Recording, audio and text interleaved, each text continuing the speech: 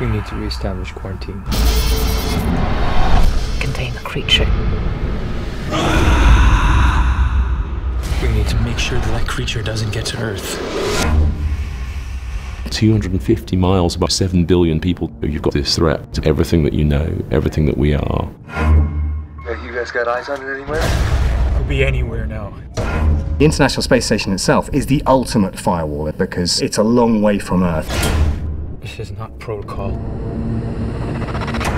It's the classic scientific dilemma when you're dealing with something unknown and dangerous.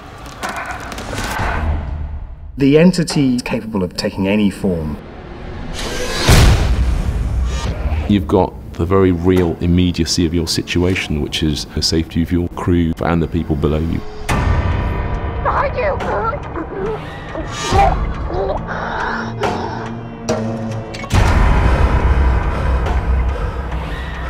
If this ever gets back to Earth, we'll risk all human life. We need to move now! It's pushing us towards Earth. How smart is this thing? We'll hit the atmosphere in 39 minutes. Life finds a way because life is incredibly resilient. If containment's threatened, we can take extreme measures. And that's happening.